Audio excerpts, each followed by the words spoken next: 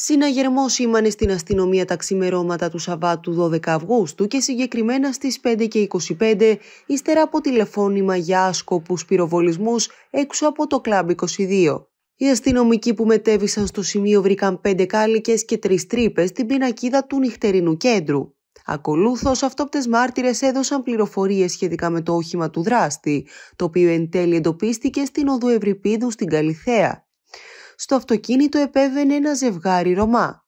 Αμφότεροι είχαν στην κατοχή τους πιστόλια και η αστυνομία προχώρησε στη σύλληψή τους.